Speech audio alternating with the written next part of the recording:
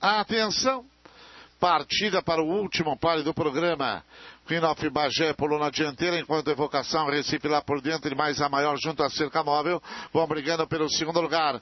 Mas pelo meio de raio, na Thunder também tenta melhorar, junto com o Eflorescente Monamur, também vai bem aberta, vai no quinto lugar. E lá pelo lado de dentro, a A maior foi para a dianteira, tira vantagem para Evocação ao Recife em segundo.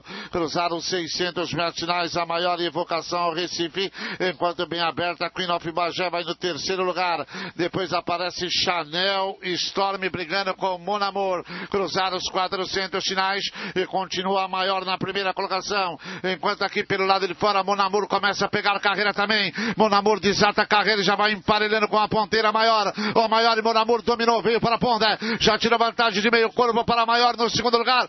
Enquanto isso, Nathaner vai buscar o segundo. Monamor cruza na faixa final.